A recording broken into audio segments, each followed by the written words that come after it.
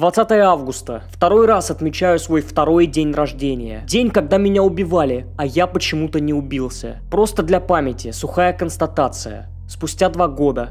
Первое. Уголовного дела так и не возбудили, чтоб там Путин не врал. Официального расследования не было. Второе. До сих пор я так и не понял, в чем заключается позиция официальных лиц России. Навального не травили новичком, он впал в кому сам по себе. Или Навального отравили новичком, но не мы, а западные спецслужбы в целях провокации. Чиновники, начиная с самого высшего уровня, с Путина, строго придерживаются одновременно обеих этих версий. Третье. Найдены и установлены почти все непосредственные участники группы убийц. Все они – сотрудники ФСБ. Доказано, что на их счету несколько неудачных попыток отравлений. Дмитрий Быков, Владимир Карамурза и несколько состоявшихся убийств. Никита Исаев, Тимур Куашев, Руслан Магомедрагимов. Скорее всего, это вершина айсберга. Четвертое. Никто из группы ФСБшников не привлечен к ответственности, кроме, разве что, Константина Кудрявцева, незадачливого химика, рассказавшего мне по телефону подробности покушения. Он пропал, и, похоже, его просто самого убили. От того, что я выжил, Кремль поймал такую огарчуху, что посадил меня сначала на три с половиной года, а потом и на 9 лет.